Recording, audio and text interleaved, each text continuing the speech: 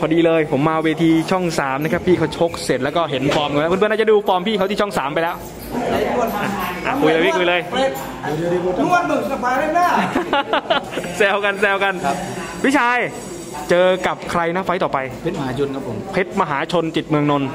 จริงไม่เล่าๆอะไรนะแล้วแกนี่ยอดเลยเพชรหลังจากนี้ยอดเหล็กเพชรแล้วเหรอเฮ้ยนัทจิตนัทจิตพูดจริงวะเนี่ยพี่เขาใส่หัวเนี่ย พักเบรกก่อนนะครับ มาทำความรู้จักกับพี่ประตักเทพปากบางค้าข้าวนะครับเผื่อสำหรับใครที่อาจจะไม่ได้รู้จักเขามากนัก ก็ปัจจุบันนะครับประตักเทพอายุ 30 ปีครับสูง 170เซนติเมตรเป็นมวยขวานะครับเป็นมวยเข่านะพื้นเพของเขาจากจังหวัดนครศรีธรรมราชครับถ้าบอกว่าซ้อมจริงๆจริงๆพี่เขาซ้อมที่ภาคใต้ แต่เวลาชกที่เมืองกรุงเนี่ยปัจจุบันนี้นะครับมาเก็บตัวที่ค่ายมวยสิงห์มาวิน ก็จะบินมาก่อนสักอาทิตย์หนึ่งนะครับมาซ้อมที่สิงห์มาวิน ก็ดูริกีเป็นแชมป์ประเทศไทยรุ่น 140 ปอนด์แล้วก็แชมป์อ้อมน้อยครับฉายาเดิมๆก็ถ้าเป็นแบบสีเสื้อเก่าๆของเขานะครับก็มีซินบีมวยไทยนะครับแล้วก็ถ้าเป็นชื่อเก่าเลยคือเจนรงต่อทักษิณครับพวกสีเสื้อที่เคยใช้มีก้องกลีบเมฆหรือว่ารัตภูมิครับ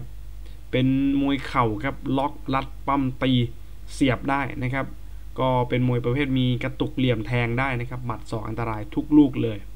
ไฟต์ต่อไปเขาจะไปเจอกับเพชรมหาชนนะครับ ซึ่งเขาก็บอกมาแล้ว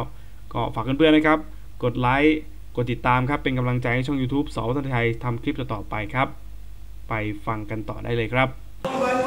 วันนี้ยอดเหล็กเพชรก็มานะครับเฮ้ยเขามาเขาคุยมาคุยได้ได้โม้กันอยู่เป็นเพื่อนๆกันครับนะครับยอดเหล็กเพชรน่าจะเป็นรุ่นน้อง ผมถามหน่อยพี่เราเตรียมความพร้อมยังไงไปเจอกับเพชรมหาชน ดูเกมการชกพี่เขามา ก็ซ้อมปกติครับ แต่ว่าเราก็ปรับเปลี่ยนวิธีการซ้อม มันซ้อมหนักเหมือนเมื่อก่อนมันก็ไม่ได้แล้ว เพราะว่าเราก็อายุเยอะแล้ว พี่เชื่อป่ะ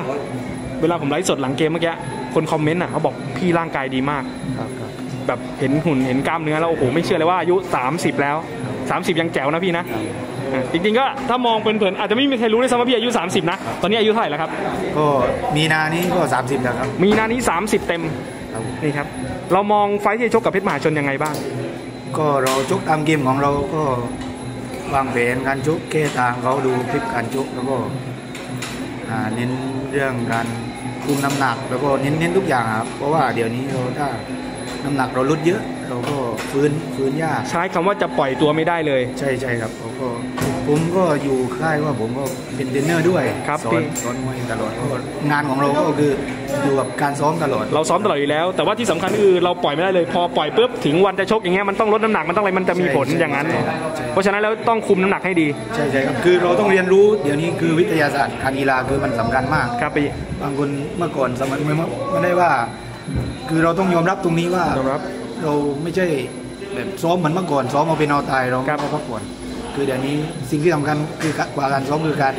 พักผ่อนแล้วก็การเลือกของกินที่ว่าออกกำลังกายให้ถูกวิธีอะไรอย่างนี้ด้วยเนาะใช่พี่เนาะบางบางทีออกเยอะ แต่มันก็ส่งผลเสียอ่าก็เป็นได้คือเราซ้อมเยอะไปก็ไม่ดีใช่ซ้อมน้อยไปก็ไม่ดีใช่เราต้องควบคุมทุกอย่างไปด้วยกันแล้วก็อือฮึคือสำคัญคือวินัยด้วยครับผมตัวเองคือก็คือเน้นไฟต์นี้ เอาไม่ใช่ไฟต์นี้ทุกไฟต์ต่อจากนี้เน้นร่างกายครับคือเน้นร่างกายเพราะเราใช้ร่างกายอ่านักมวยทุกคนใช้ร่างกายอือฮึไม่ต้องไปแก้อะไรมากมายแล้วว่าฝีมืออะไรเราก็ใช่ใช่คือมันเป็นความทรงจำอยู่แล้ว ใช่ แต่ว่าคือเราต้องเช็คเช็คคู่ชกด้วยเรามีเราก็มีเทรนเนอร์เขาครับก็ผมดูเทปแล้วเวลาซ้อมเขาก็ไฟต์นี้ชกยังไงใช้คำว่าทำการบ้านช่วยกันเลยใช่ใช่ครับอืมคือทำคนเดียวไม่ได้มวยซ้อมคนเดียวไม่ได้ครับพี่ชายแล้วแล้วเรามองยังไงเรามีลูกไหนที่น่ากลัวของเพชรมหาชน เราก็เป็นมวยสไตล์คล้ายๆกันครับผม คือมวยเข่าไฟเตอร์คือเดินเข่าได้ฝีมือได้คือได้ทุกลูกเหมือนกันใช่ครับใช่ครับแล้วพี่เขาก็เก่งแรงงั้นแสดงว่าต้องชิงจังหวะกันเลยดิทั้งนั้นอะ คือใช่ครับแต่ว่าได้เปรียบนิดนึงคือเราต่อยบ้านเราภคต่อยว่าเราโอ้โหใช่ครับอย่างนี้วันนี้คนก็มาเยอะอย่างนี้ทีมงานมาเยอะอย่างนี้ก็มีกำลังใจไปอีกเนาะใช่ครับถือว่าอีสานบุกใต้พี่เป็นคนจังหวัดไหนครับเป็นนักคุณนครศรีธรรมราชครับนครเจอกาลสินธุ์ครับฝาก FC แฟนคลับเลยครับพี่ชายก็ฝากเป็นกำลังใจเชียร์นะครับคือตั้งใจซ้อมทุกไฟท์และชนะก็เป็นเรื่องของเกมกีฬาแล้วก็ครับฝากติดตามน้องๆทุกคนจากค่ายด้วยครับ เพราะว่า ก็พยายามซ้อมด้วยกันพยายามสอนน้องด้วยหลายๆสิ่งหลายๆอย่างการใช้ชีวิต การซ้อมมวยการใช้ชีวิตแล้วก็ที่สำคัญคือการการมีวินัยในตัวเองะต้องมีวินัยใช่ใช่นะครับ โอเค ขอบคุณมากครับพี่ขอบคุณครับขอบคุณครับนี่นะครับเป็นนักมวยตัวอย่างอีกคนหนึ่งแล้วกัน ขอบคุณทุกท่านที่เข้ามารับชมครับฝากกดไลค์กดติดตามครับ